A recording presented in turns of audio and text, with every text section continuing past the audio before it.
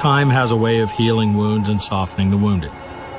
Like other veterans who fought in Vietnam, Ed Eaton came home somewhat bewildered and betrayed. He had volunteered and gone off to fight for his country. He had followed orders and did his tour with honor and distinction. Yet when he returned home, he was forced into silence by a nation that wanted to move on, to forget about his service and the things that he and others had encountered there.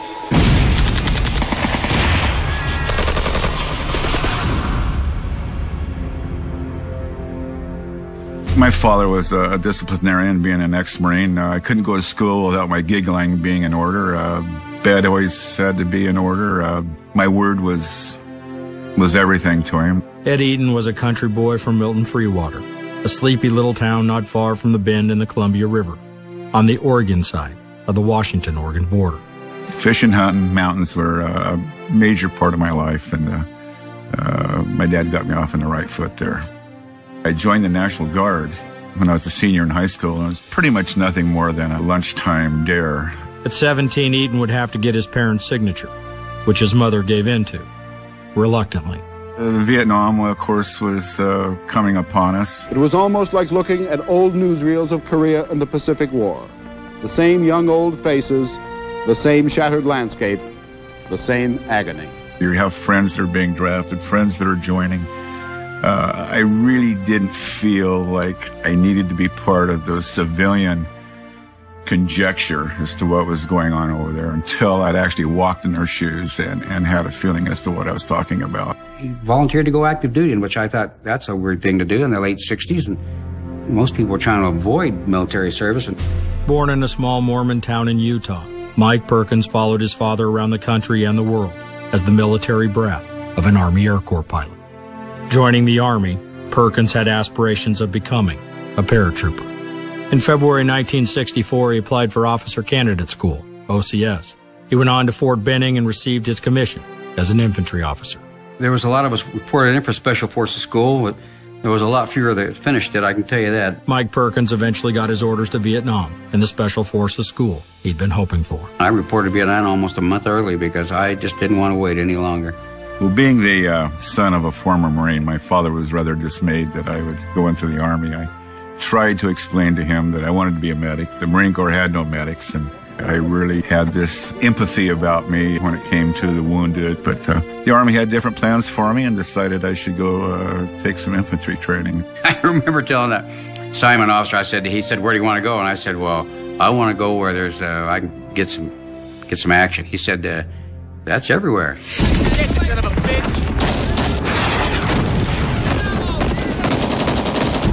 Wasn't until the door opened up uh, in Bien Hoa that I really realized I was someplace different. The stench was almost overwhelming. The country reeked of death. Assigned to a riverine unit in the Mekong Delta, Eaton and others in his company lived aboard the USS Westchester, moored out in the middle of a river, where they used landing craft and helicopters to make ventures off into bad guy country, to fight.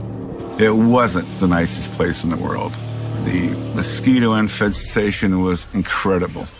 Bug juice did you no good because you sweat it off right off the bat. So you had to learn how to deal with mosquitoes. Your first three or four days in the Mekong Delta, you lose the feeling of your trigger finger. Your eyes can, are barely open. Your lips can't feel your canteen. Your water dribbles down your chin. And you finally just get to the point where, you know, mosquitoes on your nose or your lips or whatever, you just let him do what he does. We were so thirsty that we would come up to these rain barrels and they would have maybe an inch of mosquitoes on top of them. And you just split the mosquitoes apart, stick your face down there and start sucking out of it. You know, you thirst is a, an amazing thing. So, you know, he had 110 degree uh, weather and uh, it's a miserable place. Six eight zero one zero zero. Start six eight zero one zero zero. Six eight zero zero zero. Ed Eaton's first assignment for a squad in country was that of a radio operator. I hated the job. But looking back on it, it was really one of the best things that ever happened to me because I understood a little bit better how an infantry unit functioned.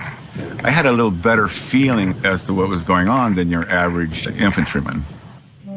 On my third tour, I was assigned to the 9th Infantry Division, which I was down in the Delta. I remember sitting down with uh, the former company commander, and uh, he mentioned a couple of platoon sergeants.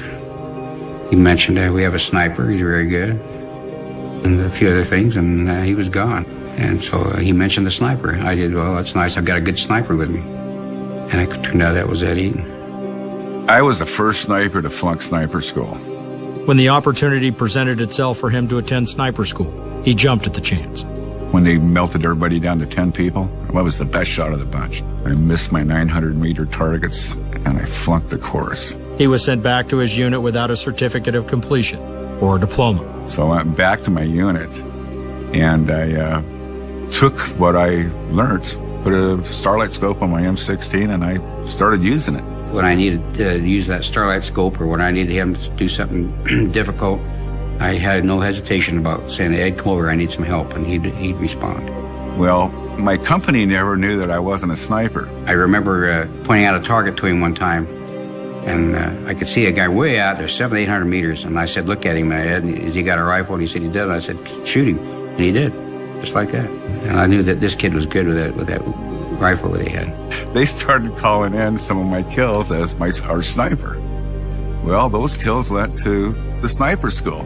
They called me in, gave me a sniper rifle, and said, "Hey, you, if you're going to be doing this, we want you. You know, we got an extra rifle. You might as well be using the right equipment." Eventually, he was allowed to retake the sniper shooting test he had failed, and was officially awarded his certificate and badge as a full-fledged scout sniper. So when we did these raids, he went on about half of them, at least half of them or more with me, because I needed his expertise, and he never turned me down. And that's how I get, got to know him real well. On April 3, 1969, Captain Mike Perkins was looking for a few volunteers to conduct a recon or search and destroy mission of a hamlet near Can Tho, along a river fork of the Mekong Delta. It was an all-volunteer uh, mission, and uh, it was called rather late. Uh, we probably only had an hour or two to get our act in order. I was worried, am I going to get enough volunteers to go? Well, I had Ed going that night, so all of a sudden we had all the volunteers we needed. Eaton, along with eight others, volunteered, and that night the 10-man team was airlifted and dropped off into a rice paddy near the target. Evidently, there had been an, a heavy amount of radio communications coming out of this specific area. They figured they had a radio transmitter. If you've got a radio transmitter, that's got to be battalion or regimental headquarters. We went in with two teams. Uh, Captain Perkins had a team on his Huey, and I had a team on my Huey. It was uh, two lift ships, a command and control helicopter, and uh, two Cobra gunships. We were told to get in and get out because the helicopters couldn't stay, couldn't loiter as long as we anticipated. We landed, and uh, we had as kind of an L-shaped series of hooches, if you will, in the wood line. His team went in on one end, and my team went in on the other. We had uh, one of the ugliest rice paddies I had ever dealt with. Full of uh, cow manure and whatever, but it was deep. We were losing time right off the bat. They began to search the grass and palm thatch hooches for any evidence of enemy presence or support. We found old women and young kids and young mothers and a couple of old men, no military age males. We'd been on the ground about 15 or 20 minutes, and I wanted to get out earlier, but we had so many hooches to clear and hadn't found a thing. That is, until one of his men found the entrance of a bunker and a tunnel structure on one of the dikes used for a walking path. When I shot my light down the tunnel, it was made out of concrete and had rebar staircase climbing down. Well, I thought, well, this is weird because you don't find very many tunnels in the Delta. And this may have been the very thing we were supposed to have found, but now we'd been on the ground too long. Mike Perkins knew that this tunnel's sophistication meant that he and his men had stumbled onto a fighting force much larger than the small handful of men he had brought with him. We were, I think, we in over our heads with 10 men on the ground, and we needed to get out of there now. While he radioed the helicopter to return for their extraction, he quickly contacted his men and got them moving as far away from the hamlet and the tunnel as possible. In the meantime, the enemy, the VC, they're moving on the paddy dikes parallel to us. I could hear them talking. I could hear them talking about the helicopters. I could talk, hear them talking about automatic weapons. So we did the best we could, got out into the middle of the rice paddy. The Hueys came down and uh, and they opened up on us. The whole world just turned green. You could have read a newspaper. Thankfully, two Cobra gunships came in hot and laid down some significant cover fire as the two extraction birds touched down right behind them for his men. We were gone in a matter of seconds. We were just on and gone. The mission's over with, though, as far as everybody's concerned, and we're taking off to where we have to go. And everybody's changing frequencies, and then we realize we have a guy on the ground. You could see him laying down there. I didn't know if he was alive or dead. But I told the other helicopter that they had to go and get him, and we'd follow behind. The first helo sat down, and the man in the mud popped up and bolted for the helicopter. He jumped up, jumped in one door, and somebody jumped out the other door, and helicopter took off, and now we're still left with a guy. Perkins told his helo pilot to drop down and get him, and then went in after him with intense weapons fire. We received fire from our left flank, and so I was in the process of firing back myself. But we didn't make it. We took rounds, shattered the cockpit, and we pitched in the air and then turned to the right. Just before it crashed, I jumped.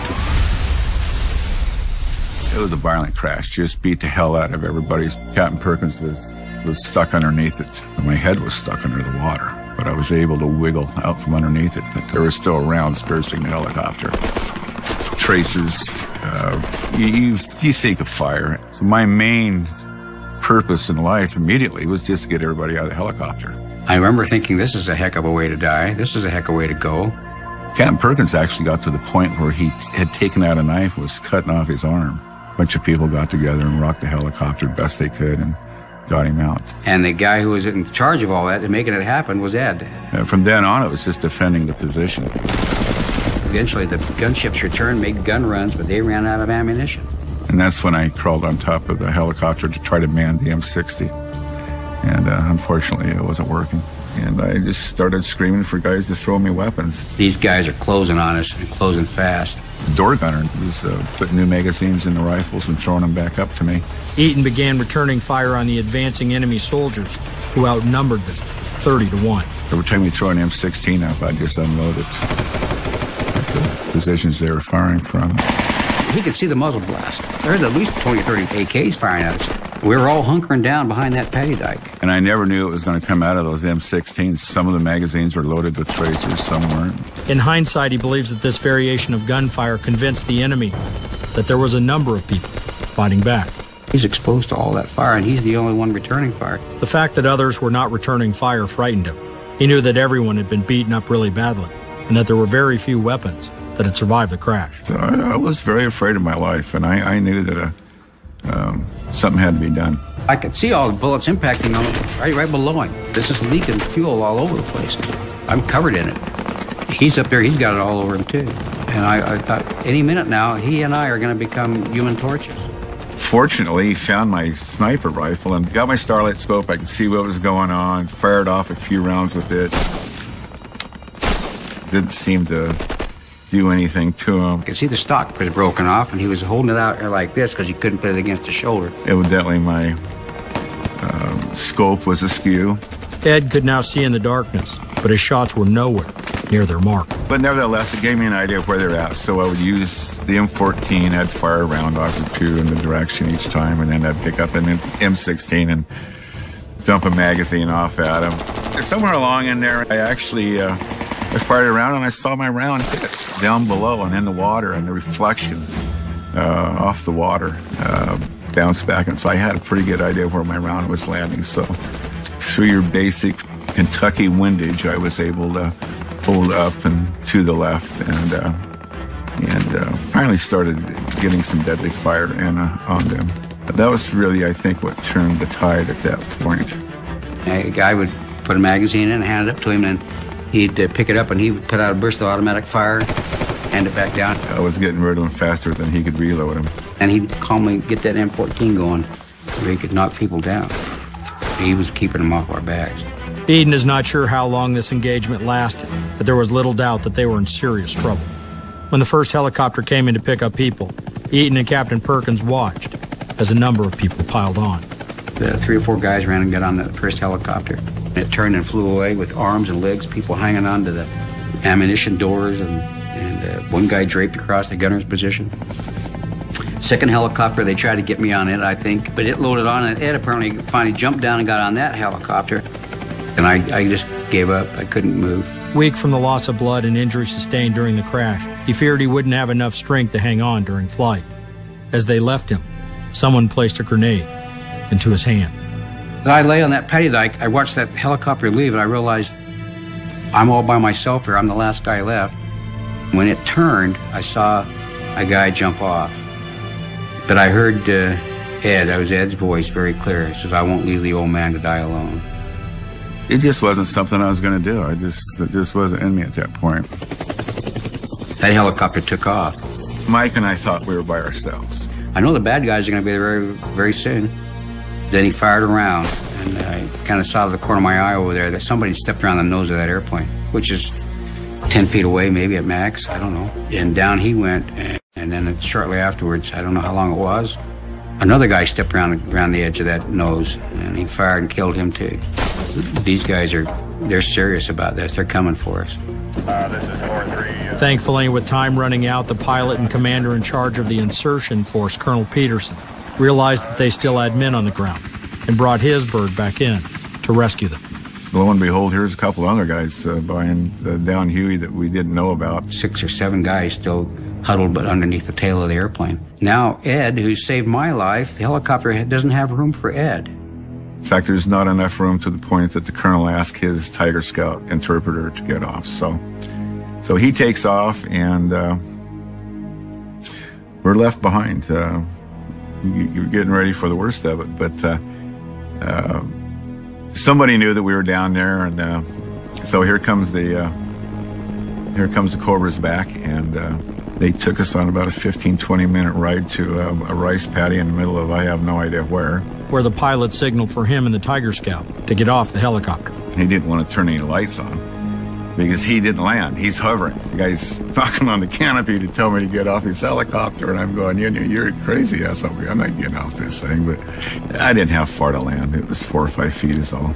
That was when I first realized that I couldn't walk, that uh, I was only capable of crawling at that point in time. In the middle of nowhere and then in the dark, he has no idea where he is and what's going on, and leaves him the third time. I'm going, you know, what the hell's going on here? I mean, how many times do I have to be rescued? But so we waited there, and uh, in time, a uh, um, Huey Dustoff came in, picked me up, and brought back to Dong Tam, where they come to find out he's also got a broken back, and he's got a bullet had ricocheted and taken his chin skin was hanging down here. I didn't really realize that I had any shrapnel to my face, to be honest with you, until I got on that helicopter on the Cobra, and I'm sitting outside, and we're flying along about 80 miles an hour, and my chin started flapping around. I had no idea that I'd even been shot in the finger. Um, didn't even realize, I don't suppose that my back was broken until I had to try to get off that Cobra. I didn't realize that I couldn't walk until I couldn't walk. So, you know, I probably had as much adrenaline in me as a man could have. So, had he not rose up that night and defended us, none of us would have, none of us would have survived that. And had he not come back to get me, or come back to be with me, I w- I wouldn't have survived another 10 minutes, and neither would those, those guys because they were honest. Uh, he survived it all and, and uh, with not much comment or complaint. It's a great feeling to be the hell out of there, and uh, it's a great feeling to see Mike uh, being taken care of. I got talking to him, and I said, How many rounds you, something like that, you got left? And he said, I have five rounds left. And I thought, you know, here's a guy came back. They had five rounds after he killed those two guys. He had five rounds left.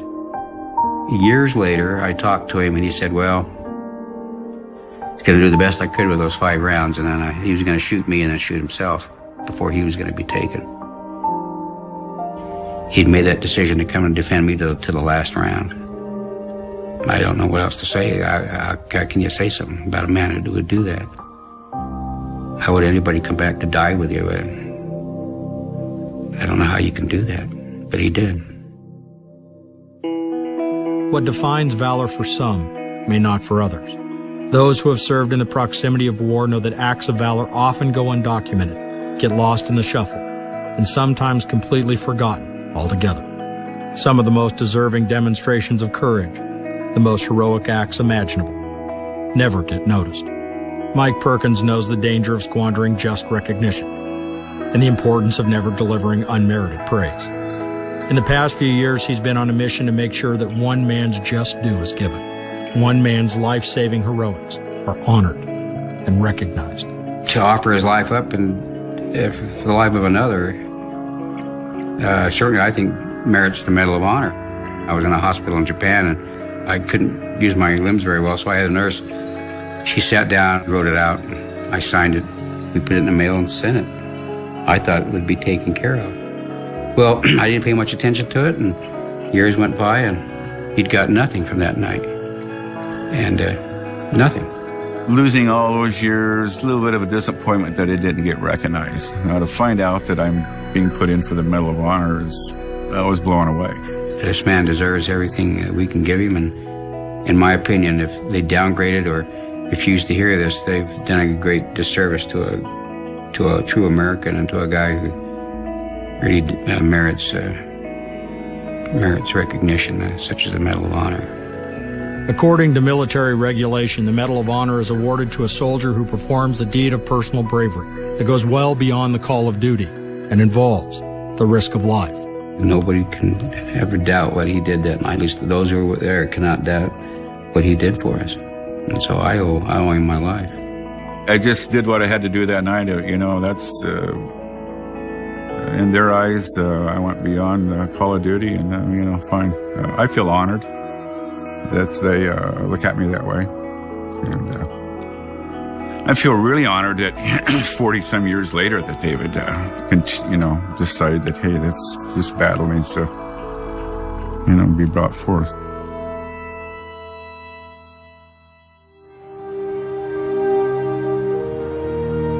Today, Ed Eaton lives a simple life with little regret, hard feelings, or ill will. He remembers his time in Vietnam with fond appreciation of the experience and says that if called upon, he would do it all over again. Yet he also reflects upon the fear, the cost, and the brothers who did not come home. He has visited the wall in Washington to rub the names of those maybe forgotten by a country that he will never forget. There are more than names on a panel for a year in which they gave America so much. They are friends and blood brothers who shared experiences in war that should never be taken for granted. He is no longer tormented by the images of death or the memories of his days in Vietnam. While they are not hidden, and while he may never be able to reconcile the pain he feels for his brothers tragically lost, he accepts that an honorable cause, in spite of its outcome, was no less served by the blood of honorable men.